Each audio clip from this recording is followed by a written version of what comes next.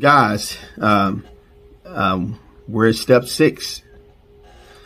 Uh, you've done all those things. Now it is time to go to the title company.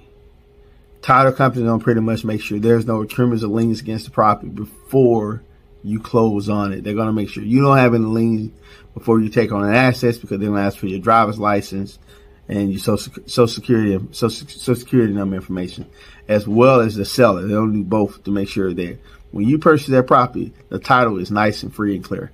That means you're taking on possession of a property and you shouldn't have any uh, problems. But title title companies also put a title policy just in case a, t- a title policy, title insurance, just in case something goes south. So it always it, something can happen, but just know where you close and keep that information close to you while you live in your home. And this is Monte Brown, DFW Realty Guy.